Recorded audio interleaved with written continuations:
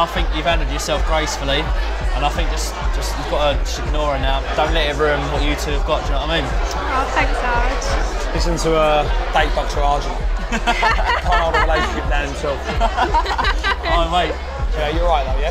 Yeah, no, I'm fine, I'm fine. Right, I understand why you're a bit upset about anything, and you know, I don't want you to feel like that. And also, I want to apologise. You know, the other night, you know, Essex Fashion Week, I never meant to walk down the aisle with her. You know, it, I was standing, Aisle? Whatever it's called, the, the runway, and I was proud of her, but she done other. So, you know, I don't mind walking down the catwalk, the runway with her. All right, so let's just forget about it. Let's move on forward. Hopefully, Lauren's. I've got Lauren's word. He said, "I'm not going to cause no more arguments. I'm going to take it from there." Yeah.